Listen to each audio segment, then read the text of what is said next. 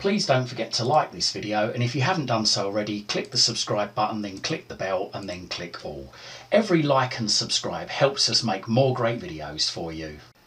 This video shows you how to download and install the classic Windows 7 games on Windows 11. Games like Solitaire, Spider Solitaire, Minesweeper, Free Cell, Hearts, Chess Titans, Mahjong Titans and Purble Place. So first of all, all we need to do is we just need to open up Microsoft Edge. And then once Microsoft Edge is open, go to the address bar right at the very top of the screen, not the search bar in the middle of the screen, but the address bar right at the very top, right here. Click once in there, delete out anything that might be in there, and then just type win7games.com.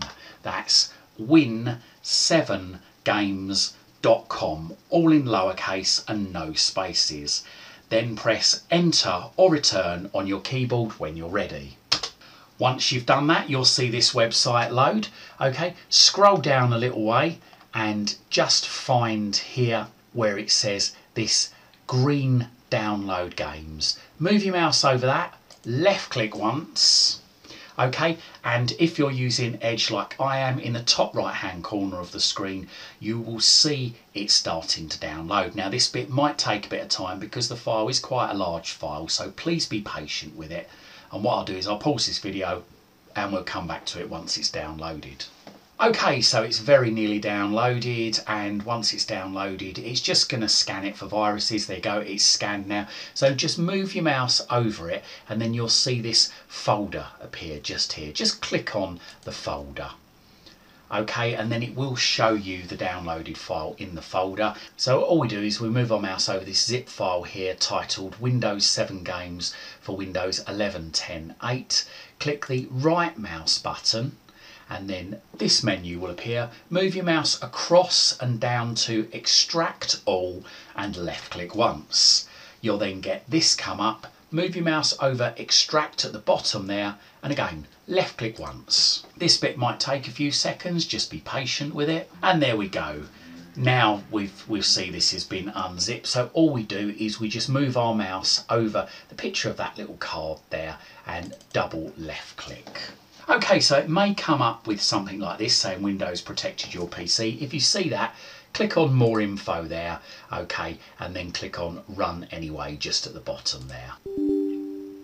It will then say, do you want to allow this app from an unknown publisher to make changes to your device? Well, as long as there it says Windows 7 games for Windows 11, 10, 8.exe, then you're okay to say yes there. So just left click yes. So here it's asking us to select a language. So select your language from this list. I'm going to leave mine at English and then click on OK. And then eventually you'll get this window appear. Just move your mouse over next left click once and now it's going to ask you what you want to install. Now hopefully here the internet games should be unticked. Now those those don't work anymore because Microsoft have turned the servers off. But all the other games should work. So the internet games won't work such as internet backgammon internet checkers and internet spades. They will not work. So they've been unticked.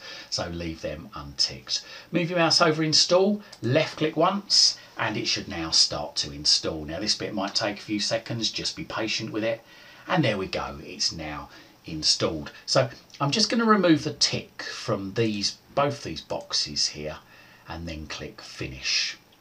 Now the next thing we need to do is we just need to click on the cross just up here in the top right hand corner of the screen. Now both these folders here that are entitled Windows 7 games for Windows 11, 10, 8 we can delete. So just click on the first one and then press the delete key on the keyboard.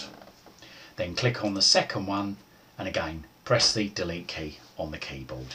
And there you go they've now gone. Now we can shut down this window here by clicking on the cross just up there. And then we can shut down edge by clicking on the cross just up there in the right.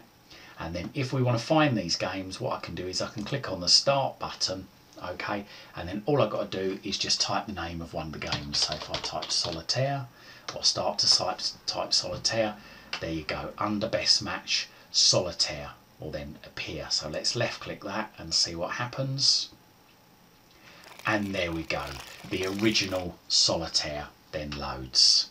So there you go, that guide showed you how to download and install the classic Windows 7 games in Windows 11. If you like this video, hit the like button. If you think your friends, your family or your work colleagues might like it, then please share this on your social media timelines. And if you want to hear about all my latest videos, hit that subscribe button. Thank you very much for watching. You can follow me on Twitter at CWTech. That's at CWTech on Twitter. And don't forget to check out my other videos in my YouTube channel. Just Google Chris Waite YouTube.